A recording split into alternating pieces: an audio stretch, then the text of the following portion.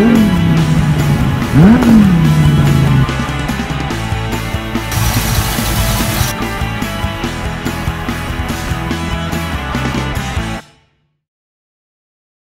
welcome back to That'll Do Garage. Today we're going to do something a little bit different. I'd like to show you uh, how I'm going to order up my Ford Bronco, show you my preferred uh, options of choice, I guess, some of my must-haves, and kind of walk you through the logic behind some of my choices.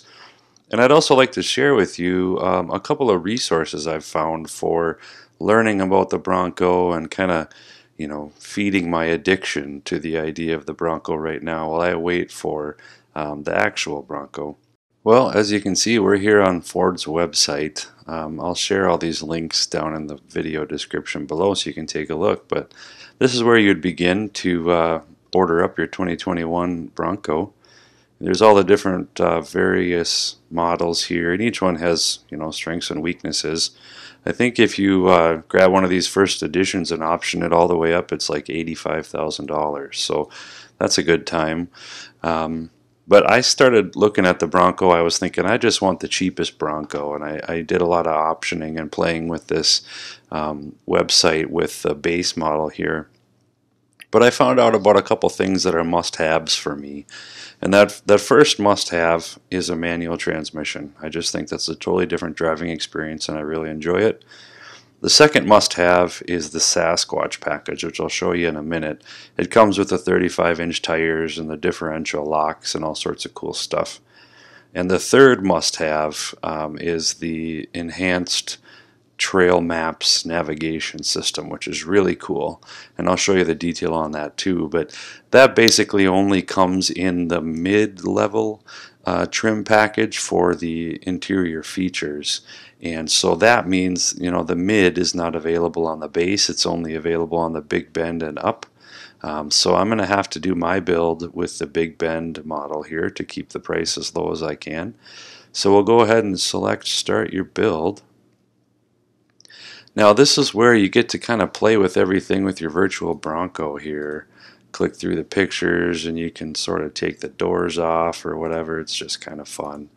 Um, oh, and, and another thing to note here is these are the 2021 colors. Now don't forget there's a 2022 is, is having some different colors and there's actually detail in here about um, some, some new colors. So this is their new color. It's called Eruption Green.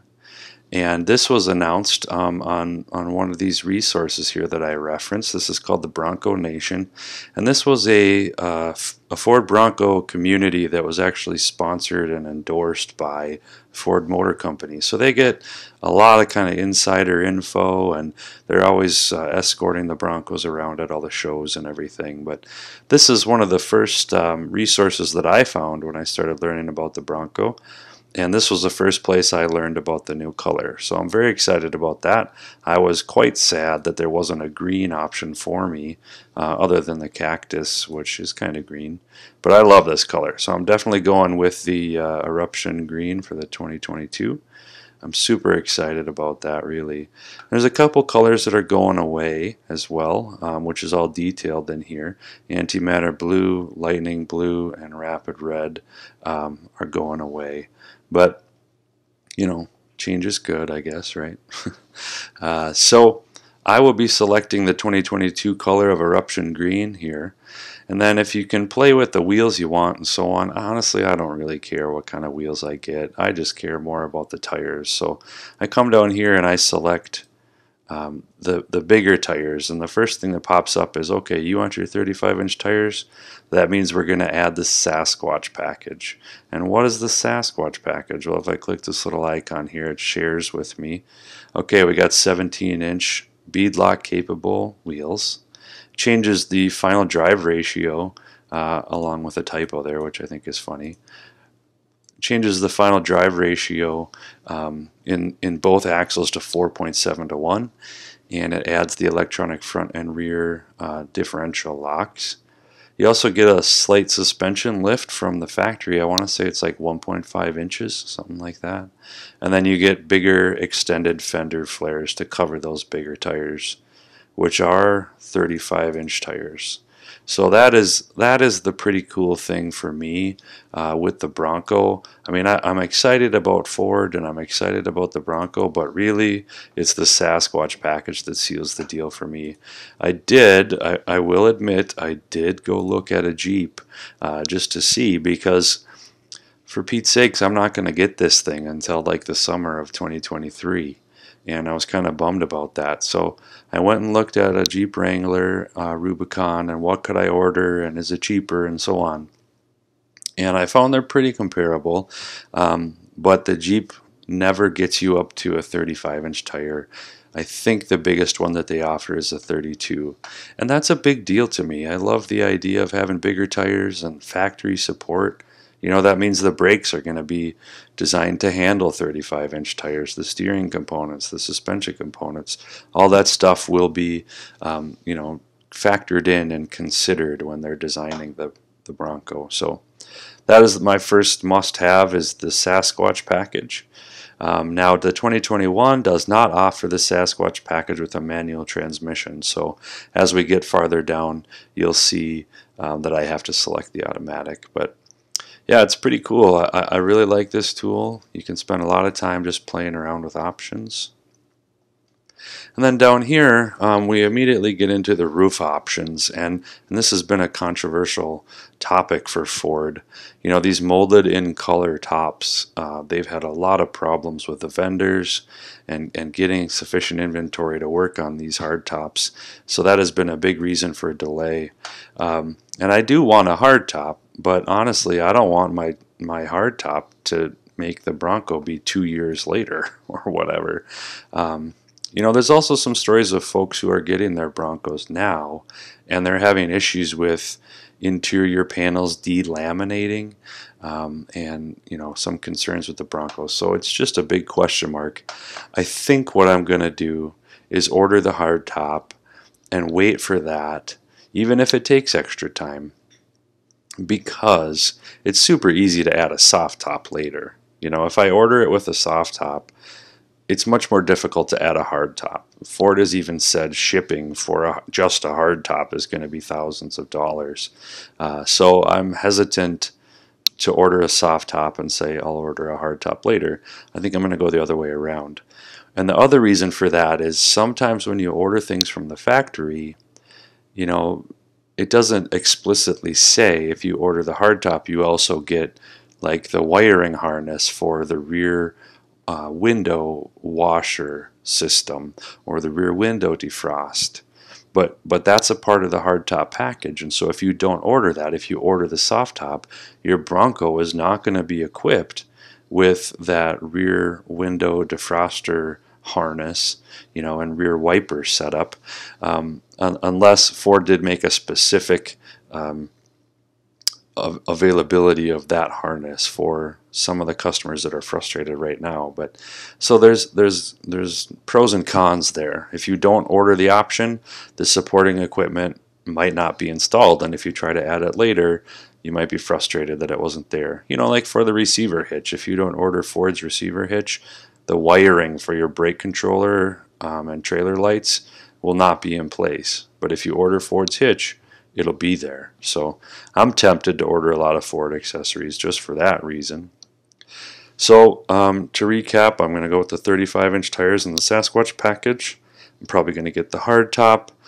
As of now, they, Ford has been including uh, free hardtop sound deadening headliner material because they're they want to say, hey, we're super sorry about the delays. But I don't know how long that'll continue. Probably won't roll into the 2022.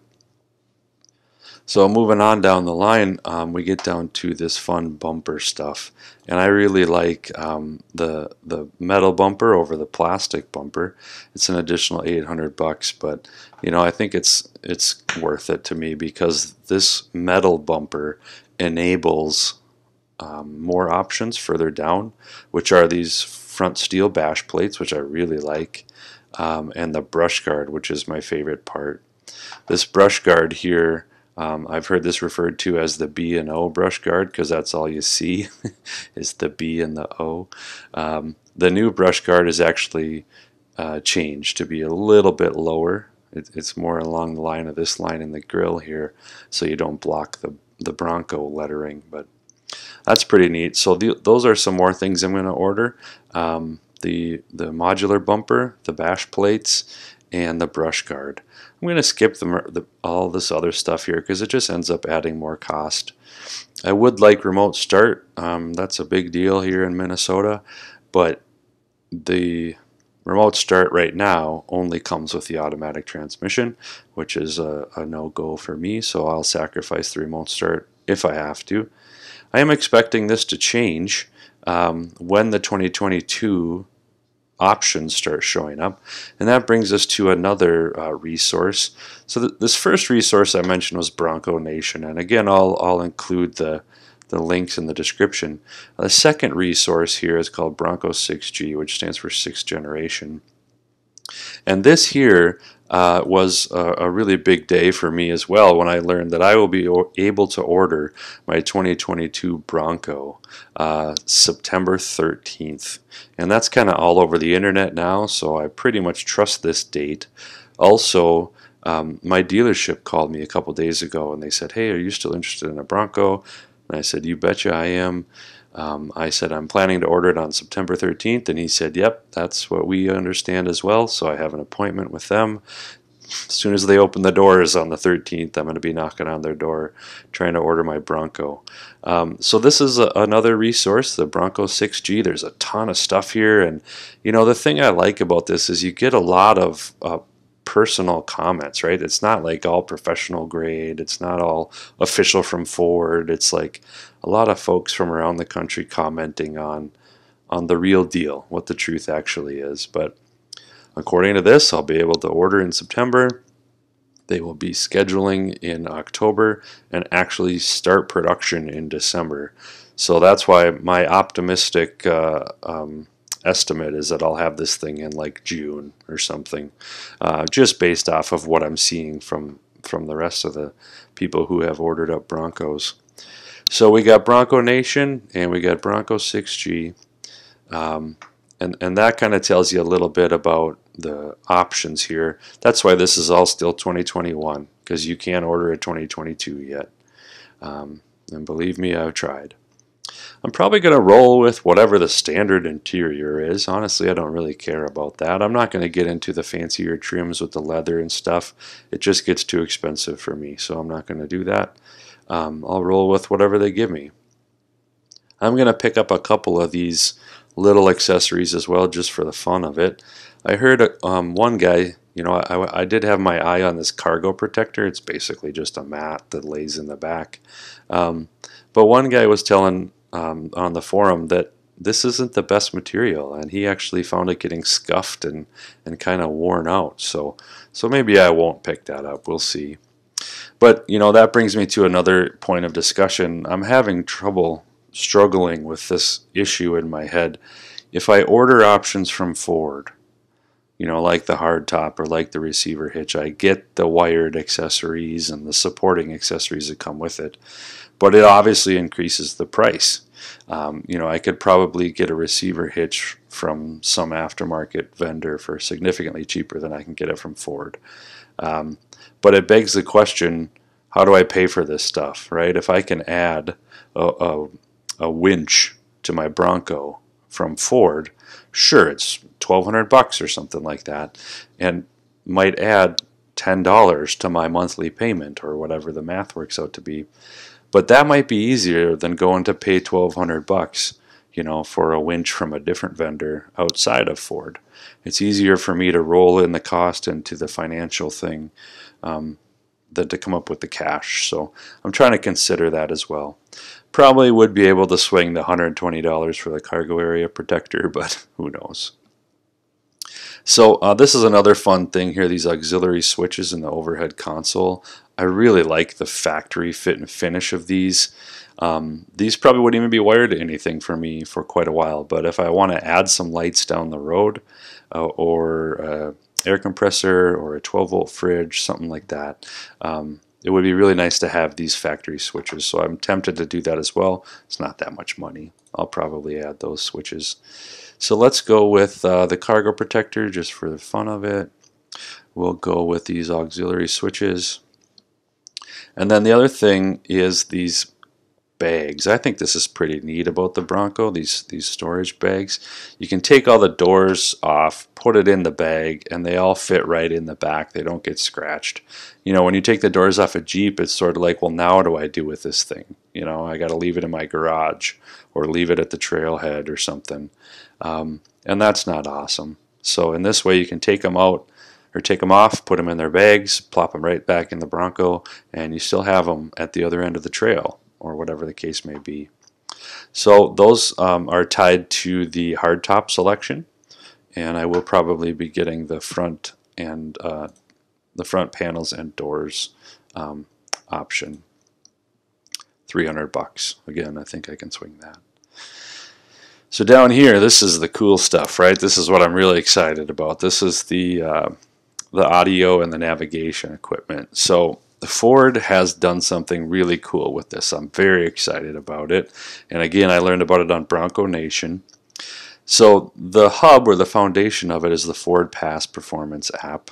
Um, and this is tied to your phone and the Bronco and everything. But basically, what you're looking at here is is like the Bronco's um, infotainment screen in maybe an Apple CarPlay mode. And the cool thing here that I'm really excited about is these trail maps. Okay, so this is some guy that made some maps. Don't worry about it. But what the Bronco is going to have is this trail maps feature where you can actually um, track your route on the trail with waypoints and GPS coordinates. You can upload video. You can have um, comments on the trail like this uh, section was was washed out. So go the other way around the tree. And you can have all of this in your profile in in your trails app and you can share all that with the community. Um, so also the cool thing is I could pop into my Bronco hook up my phone and say find me a trail around here. You know maybe it's a Saturday I have four hours to kill. Find me a trail that I can drive to get through um, you, can like right here there's an estimate of the trail length how long it takes you what the elevation change is good times to go on the trail a few photos. Um, this is all so cool to me. I just love this idea.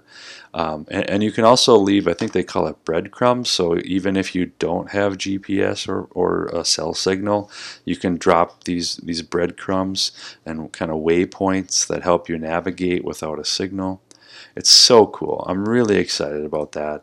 I just have this this vision of of jumping in my Bronco, saying, "Show me a trail seven hours away," and just bombing out there on a Saturday, run the trail a couple times, you know, sleep in the back of my Bronco, um, and then drive home and upload this to the community, upload this to my YouTube channel. I just think it'd be really fun to share. Um, and the Bronco has a lot of cameras built into it as well. So there's certain points when you're tooling along the trail that you can actually turn on like your front camera and show the Bronco going over an obstacle. Um, and you can share that then in your profile. You can share this video of you driving through the, uh, the trail and I just think it's the greatest thing ever. Um, and, and, in different places, I found it'll overlay um, some critical information for the Bronco too, like what gear you're in, or the um, telemetry for the suspension, you know, is your front differential locked or not, and so on. It kind of overlays that on the screen, and and will show that as you upload your video. So I'm really excited about that. It's it's pretty cool. Um, and again, this was on the Bronco Nation website, so really fun stuff. I'm very excited about that. But what you want to do there is, I, I think it's this um, built-in navigation option. So select that and it'll say, oh, I'm going to bump you up from just your six speaker audio uh, to the mid package right here, which is another 2100 bucks. Um, and that's why I'm getting the big bend, just because that mid package isn't available on the base. So I am going to order the four cylinder um, for a couple of reasons, but the main thing is um, the manual transmission and the power you get out of this thing is very impressive to me. It's a four cylinder, but you're still getting 275 horse on standard octane or 300 horse on premium fuel. And I had a F-150 with a 5.4 liter V8 that made 300 horsepower, and that thing got like 12 miles to the gallon. You know, so um, I'm just really excited about this little four-cylinder uh, putting out 300 horse. I think it's going to be great. And sure, I could upgrade to the 2.7 and get some more torque. That'd be fun. But for me, it's just not necessary. Um, so that's kind of how I'm building my whole Bronco. What are my must-haves? And is an extra 10% horsepower really going to be a must-have for an extra 1,800 bucks? To me, no, it's not. Um, so I'm going to go with the four-cylinder. And as I mentioned earlier, you can't really pick the manual here. It's not an option on the 21, but it will be for the 22. Not super um, passionate about the four-wheel drive thing, the four-wheel drive system. I, I, trust the system. I see the GOAT mode, um, you know, marketing all over the place, and it's pretty neat. Goes over all terrain or any terrain, um, and I trust the computers. But frankly, I just want to lock the differentials, put it in first gear, uh, crawler gear and let the clutch out and go two miles an hour. I'm so excited about that. It makes it feel like a tractor, you know. Um, so I, am I'm, I'm geeking out on that. But so these are the two locking differentials. Front um, rear locking differential, and then the front is also included. Um, and it changes the gear ratio to 4.7 to compensate for the bigger tires. That comes with the Sasquatch package. And this is um, what I described above. This is the mid package and it includes all that navigation stuff and you know power outlets and all those kind of things. So that'll be fun. And then and then this is um, so this is what I selected and I do usually click this when I am playing with the with the configurator here. Um, I don't know if I'll do that or not mainly because what I've heard is the more options you get the more likely you are to experience a delay so I want to kind of drop the options as much as I can um, to save cost and minimize delay. So then you come down here and you can kind of see now here's a, here's a rundown on what I've picked, right? And it specifies all the options I selected. Um, there's a couple more accessories up in here that I generally skip over. There's there's a lot of lights and you know you can change your wheels and you can get like a roof rack and all this stuff, but none of that really speaks to me. Um, I do tend to go back and forth on the uh, ARB air compressor, which is cool when you're lowering down the tire the tire pressure. It would be great to have a nice, robust um, air compressor that you can trust to to fill your tires back up. But I'll probably buy an aftermarket one on that. Um, so that's where I'm at. I do this like once a week. I'm on this website and I just play with things and I look around and I play with the calculator. And um, the other thing about the, the calculator is I don't really trust these numbers because I, I've heard a lot of different variation in um, you know the dealers are offering incentives or they're not offering any incentives. I even heard one uh, guy say that there will be no lease option because it's so popular, um, which doesn't make any sense to me because why would it be here if they're not going to lease it? But anyway, I am planning to lease this thing um, purely to get the monthly payment down and this will be the first time I've leased a vehicle, but I don't know. We'll see how it goes. Some people swear by it.